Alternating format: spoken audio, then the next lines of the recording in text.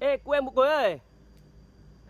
Ừ, đợt này mất điện nhiều quá, anh à, muốn tìm con bán tải để à, chở máy phát điện bán cho bà con. Để mua con xe bán tải để chở máy phát điện đấy. Ừ, xem có con nào không? À, em giới thiệu anh con xe này. Con xe này em ờ, mới lấy về đây. Con này là con gì? Anh là con xe này là Mazda BT50. Ừ, Mazda BT50. không những anh thích máy dầu cơ. Máy dầu đây. À, con này máy dầu à? Máy dầu. Con này động cơ 2.2 máy dầu số tự động một cầu. Ok, thế được. Đấy. Đây anh nhìn này. Con xe này biển 34 Hải Dương. Quê hương em đấy. Bánh đậu xanh ấy. Ok, Đấy, anh nhìn này, con xe này màu vàng cát nhá. Cụm đèn pha rất là sáng bóng luôn. Đấy, đèn chiếu gầm này. Không hề bị màu vần đục. Đấy, anh nhìn với dàn lốp này. Ừ. Đây. Dàn lốp này. Được. Còn à, mới nhá, gần như mới. Lốp láp này là răng đúc, phanh đĩa, phanh ABS. Với dàn treo khí nén này, anh nhìn chất chưa? Ừ, Đấy. chất đấy, Bậc lên xuống này. Đấy, anh thấy này, cao nhá. cao chưa? Đấy, gương xi nhan trên gương nhá. Đây, anh nhìn nội thất phía trong. Nội thất ghế da lỗ thông hơi nguyên bản theo xe. Đấy. Đầu đĩa cũng đầu đĩa nguyên bản. Ok chưa? Ừ. Điều hòa auto. Đẹp. Đấy, đây số động nhá, cần số số động này. Đấy, gương điện này.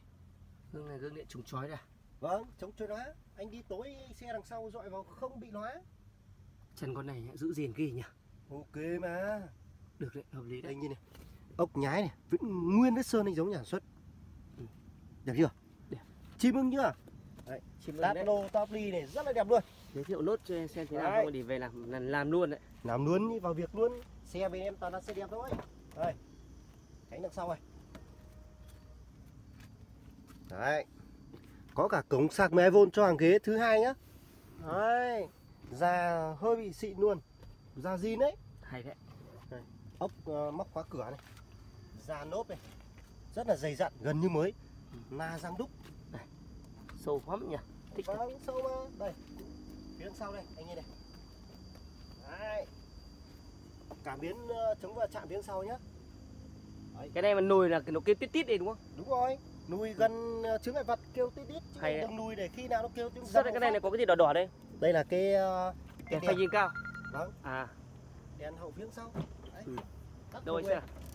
đây thùng này chở máy cứ gọi là ok luôn Ừ, 4 năm máy phát điện là thoải mái đấy. Anh chỉ cần Thoải này mái. thôi. chở được ờ, những máy nhỏ tầm tạ là chở được Ừ. Đấy. Hợp lý luôn. Quá hợp lý. Mà giá của này chỉ có hơn 300 thôi. Em thấy hợp lý chưa?